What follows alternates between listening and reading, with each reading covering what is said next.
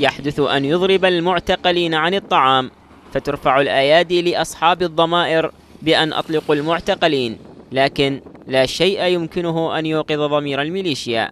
وقفات متكررة قامت بها أمهات المختطفين للمطالبة بالإفراج عن أبنائهن الذين يتعرضون للتعذيب منذ أكثر من عام في سجون الميليشيا.